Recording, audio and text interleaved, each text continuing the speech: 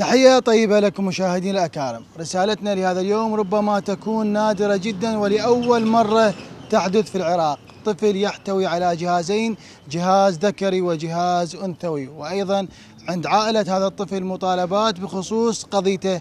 راح نتواجد ونشوف وين مطالباتهم. خليكم ويانا.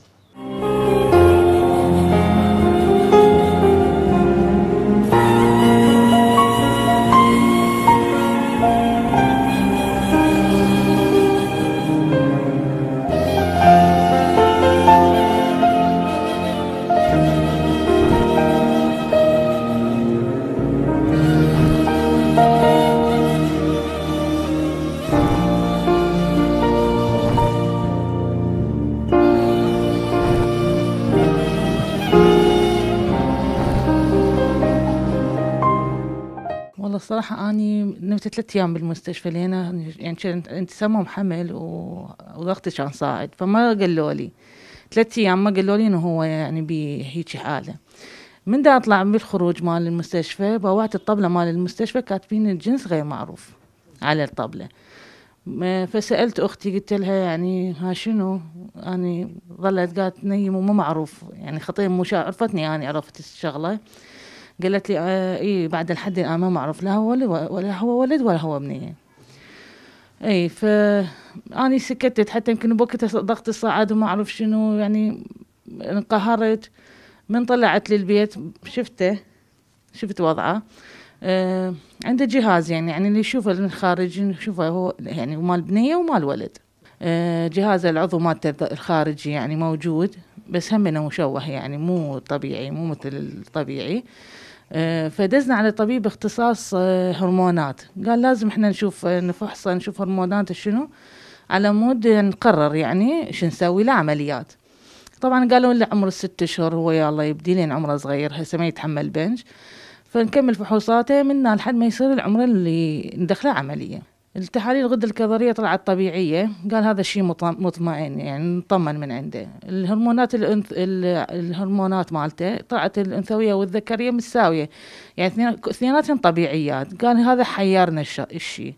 بالسونار من أخذنا له سونار هم بالمدينة أخذناه.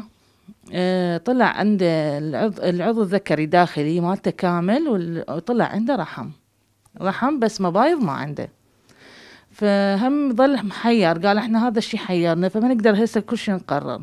طانا شهرين لأن هو اجى بالثامن قال شهرين وتراجعوني لأن نقول حتى يكمل التاسع.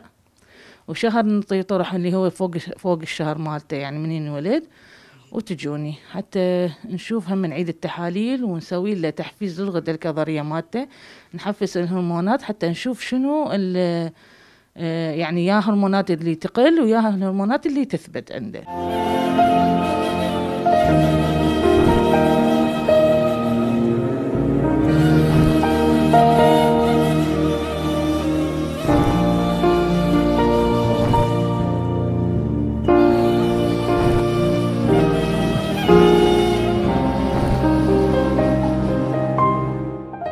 والله إحنا مطالباتنا بوزارة الصحة على مود هذا الطفل. شوية حالته يعني تعبانة و- وتكاليف المصاريف مالته كلش يعني تكاليف. وأنا قاعد إيجار. وشغل يوم أكو يوم ماكو. والله كل تحليل دم طب يعني دي يكلفنا فد ورقتين ثلاثة. ورقتين ثلاثة وأنت تعرف بعد بالأمور. هاي لحد الآن تحاليل من غير العملية؟ هاي من غير العملية تحاليله. زين العملية حدوا لكم سعر انطوكم فد شيء ما مبدئي؟ حددوا. لحد الآن ما حددوا. بس قال يعني الدكتور قال راح تتعبون بيه. وراح تصير التكاليف مالته كلش هواي. أيوه وإحنا يعني ما نقدر على هاي التكاليف. شنو مطالباتكم من وزارة الصحة؟ والله مطالباتنا بس خلي يشوفون هذا الطفل. هو هذا غيدي من وزارة الصحة يشوفون حالته. بالبداية هو الولد أبو الطفل هو صديق. بس يعني بعيد عن بيتي بس من واحد لواحد عرفت هذا الشيء إنه هي هاي الحالة إنسانية صراحة. يعني تقول إنه إنسانية يعني بحتة. لا أنا أفيده ولا أنت تفيده. اللي يفيده رب العالمين صراحة بهيك حالة.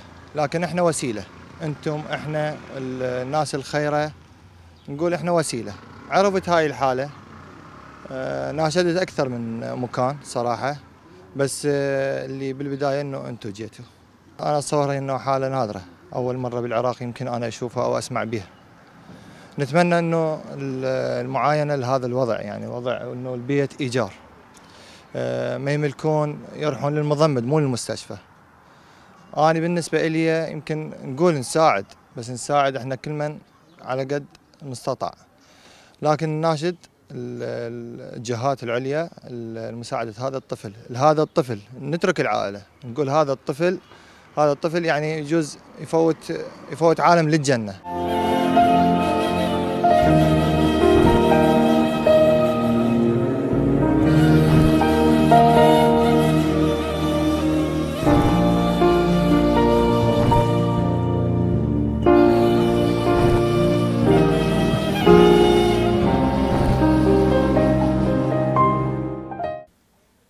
بعد ما شاهدنا هذه الحادثة النادرة جدا بهذا الطفل اللي يمتلك جهازين جهاز ذكري وجهاز أنثى وبحاجة إلى تحاليل وهذه التحاليل تكلف مبالغ كبيرة لعائلة هذا الطفل اللي ما يمتلكون حتى بيت يسكنون فيه. رسالة إلى وزارة الصحة بضرورة التعاون مع هذه العائلة وإيجاد حلول وإجراء عملية سريعة لهذا الطفل.